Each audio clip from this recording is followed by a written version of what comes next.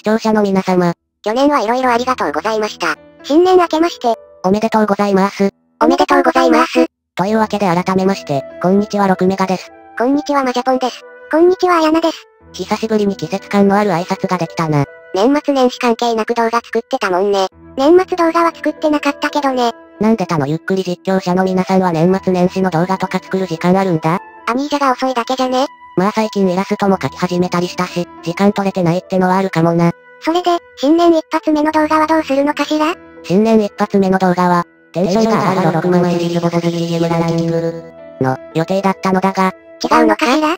コミュニティの方ですでに書いたが、急遽いつもの人が9枚も自作フィギュアの写真を送ってくださった。泡の人さんか。それを紹介するだけでも結構な時間になるので、今回は新年のご挨拶とそのフィギュアの写真を紹介するにとどめる。ランキングはどうするんだ？ランキングの方は BGM ランキングなので、俺たちの出番はない。なのでスッキリ見やすいように動画を別々にするんだ。この動画の次に投稿する動画がボス BGM ランキングなので、そちらが見たい人はどうぞご覧ください。右上のカード機能から飛べるようにしておきます。今回は X6 編と X7 編がある。順番に見ていこう。これはエンディングの再現か。ゲートを抱きかかえる X と、それを囲む仲間たちの図だな。右の3人はハンターベースの仲間たちね。全員ちゃんと特徴をつかめていて、素晴らしい完成度だな。顔の部分もしっかり再現されているね。細かい配色も完璧。さすが泡の人さんだ。次に行ってみよう。こっちはいわゆる幹部ボス3人といったところか。左からアイゾック、ゲート、ハイマックスの3人だな。アイゾックが随分細く見えるわ。確かにちょっとほっそりしてるかもな。逆にゲートはがっしりしているように見えるね。ゲートの白衣ってあんな感じだったかしら？運動だろう。後で資料見直してみるか。ハイマックスも各パーツこだわって作られている感じがするね。顔の配色がもともと暗いから、少し顔のパーツが見づらいように感じるな。そこはどうしようもないところなんじゃない？そうだな。次へ行こう。こっちは戦闘形態のゲートだね。X はバスターの形状から察するにブレードだな。やっぱりこのゲートも変形するのかな？泡の人さんならそういう風に作ってそうだな。このゲートって通常の攻撃が効かないんだったわよね効かないな。正直初見では倒し方すらわからんかった。次に行こう。こっちはバイオシグマだな。あのマントはどこで手に入れたのかしら？多分永遠の謎だな。ロボットがマント羽織る理由ってあるのかな？砂ぼこりが入らないようにとか？この人と戦ったのって室内よね？やっぱり永遠の謎だな。次へ行こう。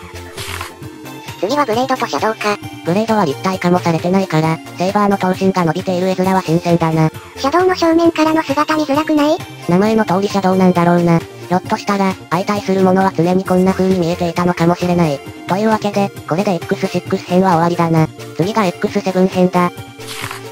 おう、グライドアーマーだ。ちょっと色の塗りが不安定な感じがするわ。グライドアーマーは多分シリーズの中でも特に配色が難しい。あとバスターの盾の大きさが歴代でも巨大な方だから、バランス取りに苦労したことが伺えるな。次に行ってみよう。次は X7 のシグマだな。このシグマに専用の名前はないのかしら？残念ながらないな。正式名称が載っている資料とかあっただろうか記憶にないね。中遠距離攻撃をメインとする珍しいシグマだったな。奥行きに飛んでいってマシンガン撃ってきたり、でっかい大砲撃ってたりしたよね。残念ながらゲーム性がちょっと褒められたものじゃなかったので扱いが地味だが、X8 やイレハンのシステムでこのシグマと戦ってみたい気持ちがある。X7 に何があったというのかしらそれについては別の動画で語ろう。語る時は来るんだろうか次に行こう。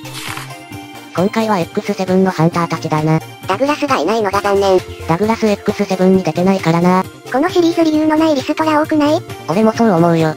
この中で注目したいのはやはりアクセルだな。顔の特徴的な十字の傷もしっかり表現しているね。見事なものではあるが、何の傷なのか今でも不明なんだよな。いつかちゃんと明らかになってほしいね。もうゲームとして出さなくていいから、漫画で説明してほしいわね。ダッシュ3を今でも諦めていない一人として思うわ。カプコンさん、2020年こそは頼みますせ。さて、次が最後だ。こっちはレッドアラートのボス？レッドか。自分の名前を組織名にしているのね。これもすごい出来だが、大カマが影になっちゃっててレッドの顔が見づらいのがちょっともったいないな。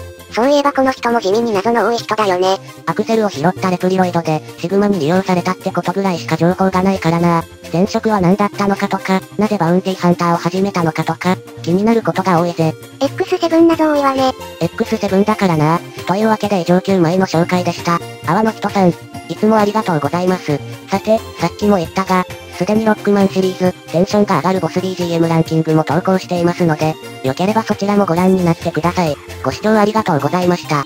良いロックマンライフを。良いロックマンライフを。